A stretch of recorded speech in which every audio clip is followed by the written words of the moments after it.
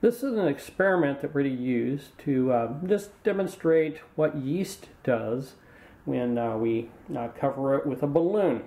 I'm taking a simple, um, oh, it's a um, 16 ounce water bottle that you can get at Costco.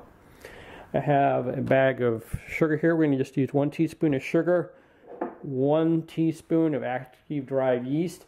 And I've already placed it in here to um, measure it ahead again. Here's the measuring spoon. Then I have a uh, cup of water. I took a, um, I have a hot water bottle at home, a dispenser that dispenses hot water automatically. It's around 195. I um, dispensed that, half a cup of that, added a cup of room temperature water. And what we're going to do is take the water bottle here, and I'm going to carefully dump, I'm carefully dump the contents in here. I used brown sugar the other day and it clumped rather um, easily. So I'm using the granulated white sugar because it it's not quite so uh, clumpy and that way I get a little more even mixture there. And then I add the warm water mixture like that.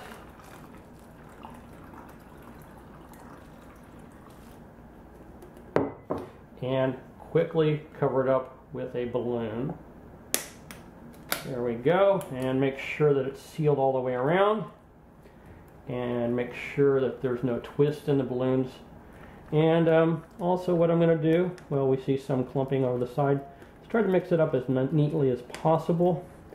And let's see what happens next. So, um, the amount of time it'll take to inflate the balloon depends upon the ambient condition, conditions of the room, but let's see what happens. we'll be back. I'll check this out in about half an hour.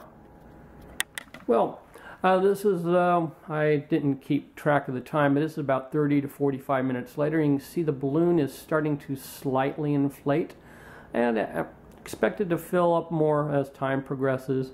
And of course, uh, your con temperature conditions may vary depending on the uh, temperature of your house and such. Um, we'll try to zoom in here. And um, you may note some of the foaming here on the yeast as it's been exposed to the sugar in the water.